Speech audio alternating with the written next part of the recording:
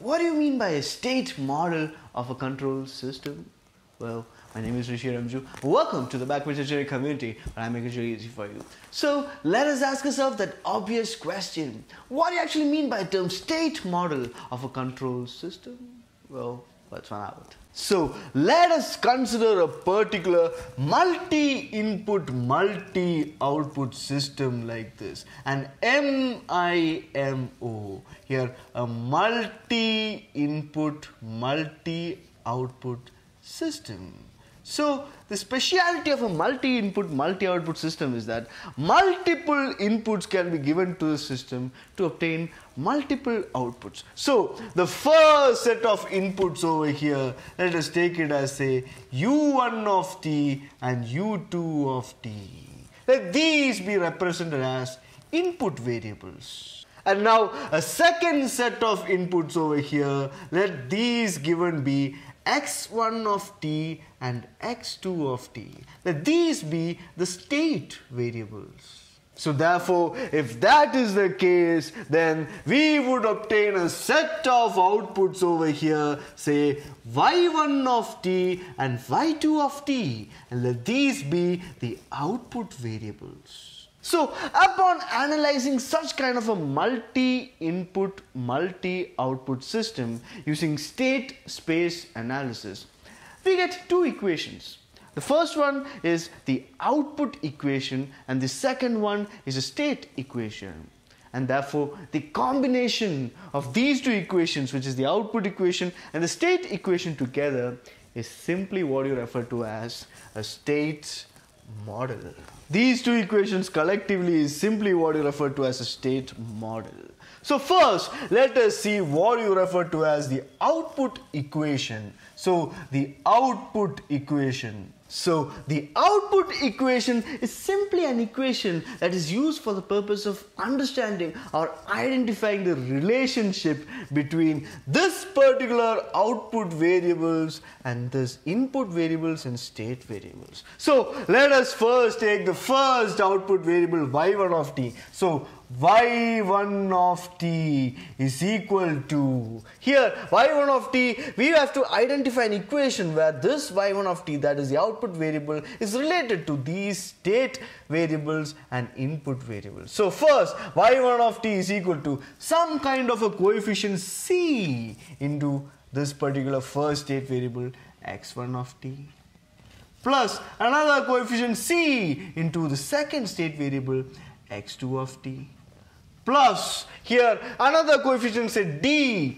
into the first input variable u1 of t.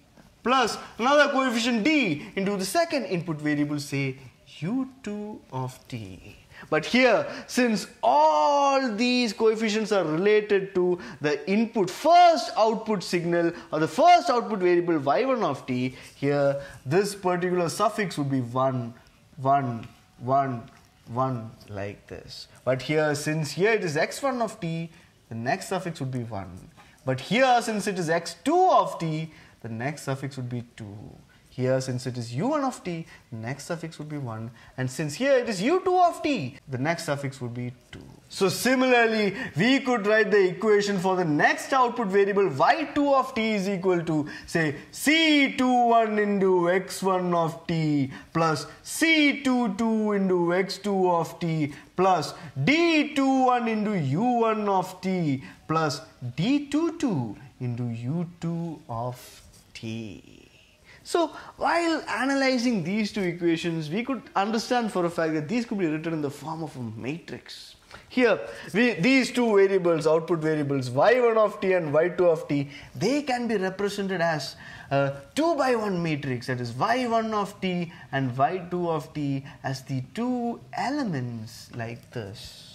This is equal to the first set of coefficients which is C11, C12, C21, C22. These coefficients multiplied by the state variables that is x1 of t and x2 of t plus the next set of coefficients which is d11, d12, d21, d22 multiplied by the input variables u1 of t and u2 of t. So this can be simplified of the form. This can be written as capital Y of t is equal to capital C into x of t plus capital D into u of t. This is the required output equation. So similarly, we can now also find the state equation. So here in the case of an output equation, we found out the relationship between the output variables and these input and the state variables. But in the case of a state equation, here we find the relationship of the first derivative of these state variables that is d by dt of x1 of t and d by dt of x2 of t. So we find the relationship between the first derivative of the state variables with these input variables and state variables. So the first equation would be d by dt of x1 of t which is nothing but x1 dash of t. So this can be written as say a11 into x1 of t that is some coefficient into the first state variable x1 of t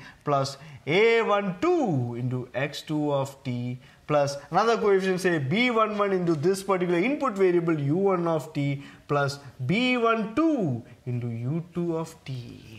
Similarly, we can also write d by dt of x2 of t is equal to x2 dash of t which is nothing but a21 into x1 of t plus a22 into x2 of t plus b21 into u1 of t plus b22 into u2 of t.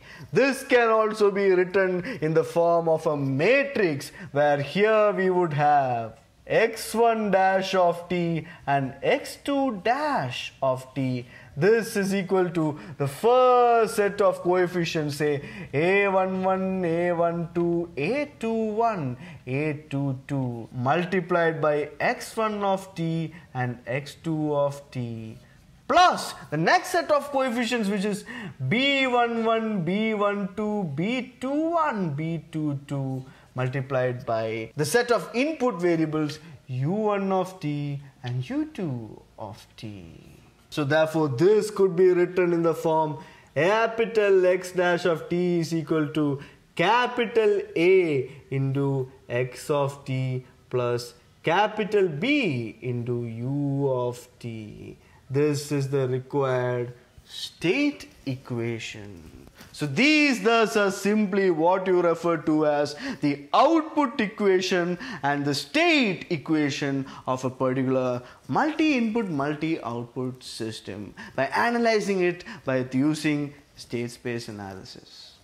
As simple as that guys, there's nothing more to it.